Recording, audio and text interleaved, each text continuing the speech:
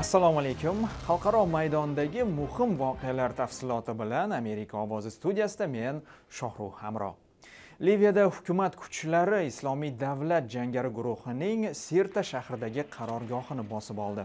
Ularga qo'shma shtatlar havodan yordam berib turibdi. Ammo sirtaning boshqa qismlari hamon ekstremistlar nazoratida. G'alaba qo'lga kiritilgani haqida hukumatga sodiq kuchlar bayonot tarqatdi. Sirta shahridagi bu bino daish uchun muhim ramziy ahamiyatga ega. Guruh shaharni o'tgan yili bosib olganidan beri o'z majlislarini shu yerda o'tkazar shu imoratni nazorat markaziga aylantirgan edi. Aqsh boshchiligidagi xalqaro koalitsiya islomiy davlatni sirtadan siqib chiqarish uchun shu oy hujumga o'tdi. Agar islomiy davlat qo'mondonlari iroq va suriyada yengilsa aynan liviyaga qochib nafas rostlashi mumkin deydi harbiylar. Rossiya mudofaa vazirligining bildirishicha suriyaning halab shahriga gumanitar yordam yetkazilishi uchun otishma va hujumlar vaqtincha to'xtatiladi. Для гарантирования полной безопасности insonparvarlik karvonining halabga kirib borishini kafolatlash maqsadida har kuni ertalab soat 10 dan 1 gacha harbiy amaliyotlar olib borilmaydi deydi general leytenant sergey rutskoy hafta boshida birlashgan millatlar tashkiloti suriya shimolidagi bu shaharda gumanitar inqiroz hukm surayotgani haqida bong urgan edi. 2 million aholi suv va elektr tokidan mahrum.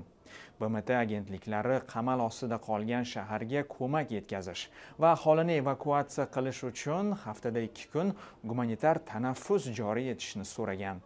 Bir guruh shifokorlar halabdagi ayanchli ahvolni qog'ozga tushirib prezident barak obamaga ham maktub yo'llagan edi. Bashar asad hukumatiga qarshi kurashayotgan isyonchilar so'nggi kunlarda armiya qamalini yorib o'tishga muvaffaq bo'ldi. Hukumat hududga qo'shimcha kuchlarini safarbar etmoqda. Aqsh davlat departamentining global diniy erkinlik bo'yicha hisobotida ekstremizm tahdidi oshib borayotgani qayd etiladi. Shuningdek dinni tahqirlashga doir qonunlar qabul qilgan mamlakatlar tanqidga uchradi. Janubiy osiyodan tortib yaqin sharq va afrikagacha. Din niqobi ostida oddiy odamlarga qarshi terror hujumlari amalga oshiriladi. Islomiy davlat va boko haram singari guruhlar qur'onning radikal talqiniga ularning mafkurasiga qo'shilmaganlarni qirib tashlamoqda. Ammo hisobotga ko'ra dinni haqoratlashga doir qonunlar ham zo'ravonlikni asoslash uchun xizmat qilmoqda. Dunyodagi davlatlarning chorak qismida shakkoklik to'g'risida qonunlar bor. Dindan qaytganlarni jazolaydigan jamiyatlar bor. Bu jiddiy muammo deydi aqsh diplomati devid sapersteyn yillik hisobot ijobiy o'zgarishlardan ham xoli emas. Masalan vyetnam hukumati e'tiqod erkinligini ta'minlash tomon qadam tashlamoqda.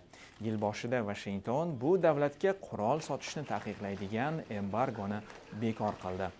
Huquq tashkilotlari nazarida esa vyetnamda ahvol hamon og'ir. Frankly vyetnam aslida alohida xavotirga molik davlatlar ro'yxatida bo'lishi kerak deydi human rights watch tashkilotidan jon sifton. Har yili chop etiladigan hisobotda yuzlab davlatlardagi diniy ahvol yoritiladi. Alohida xavotirga molik ro'yxatdan turkmaniston tojikiston va o'zbekiston ham joy olgan.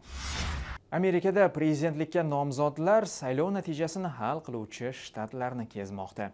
Hillari klinton ayovada saylovchilarga iqtisodiy o'sishni ta'minlaydigan rejasini tushuntirib berdi. Donald trampga esa tanqidlar yog'ilmoqda. Donald tramp o'z chiqishlaridan birida qurol egalari hillari klintonga qarshi chora ko'rishi kerak deya zo'ravonlikka shama qilgani bahslarga sabab bo'lmoqda. Klinton saylansa deydi tramp qurol savdosini cheklaydigan sudyalarni tayinlashi aniq. U har doim ataylab shunday gaplarni gapiradi deydi nyu yorklik aleks yankovskiy tramp safsataboz og'ziga kelganini vaysaydi. Men klintonga ovoz berayotganimning sababi ham shu chunki respublikachilar nomzodi aytayotgan gaplarda mantiq yo'q deydi u tramp tarafdorlari esa u zo'ravonlikka shama qilgani yo'q deydi.